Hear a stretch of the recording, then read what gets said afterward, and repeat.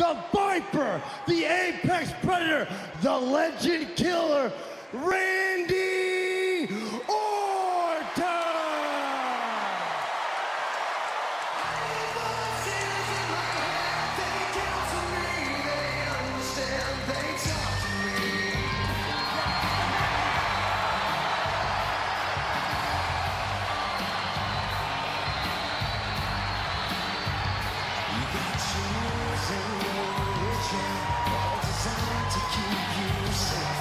A justifiable standing ovation for the arrival of Randy Orton.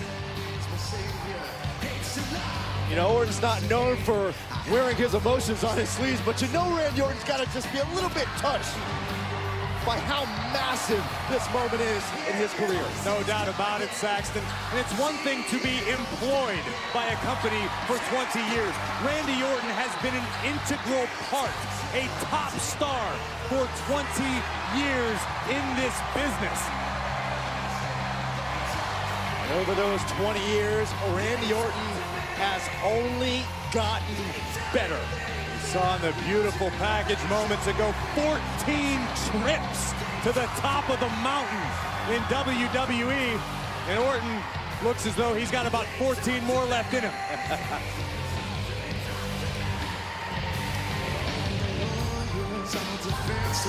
Without question, one of the most enduring superstars in WWE history.